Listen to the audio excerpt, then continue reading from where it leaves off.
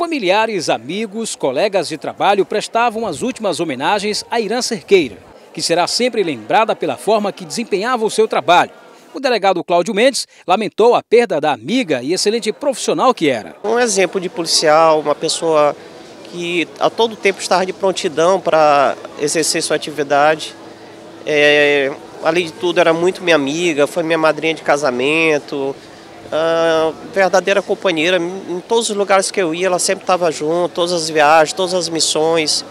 Então, particularmente para mim, é, foi uma perca muito grande e para a Polícia Civil também. Para o presidente da Simpol, esse é mais um crime que reflete nas falhas existentes nas leis, pois os envolvidos identificados são reincidentes e com passagens pela polícia, presos na semana passada em Passo do Lumiar. O fato é que hoje a polícia vive essa realidade. Ela prende hoje, amanhã ela solta e hoje nós prendemos e amanhã mesmo encontramos, mesmo que prendemos nas ruas, às vezes nos ameaçando, às vezes, como aconteceu nessa triste realidade, abatendo os nossos. Para os familiares, essa é uma situação inadmissível e esperam que a justiça seja feita. A mãe morreu de seus 80 e poucos anos, doente, e agora a filha é tirada sendo sangue derramado.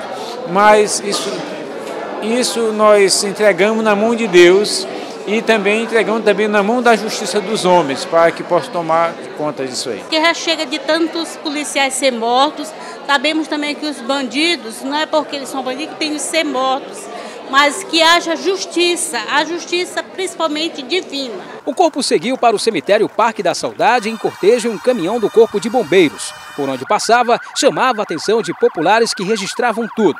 O helicóptero do CTA, várias viaturas da Polícia Militar e Civil também faziam o percurso.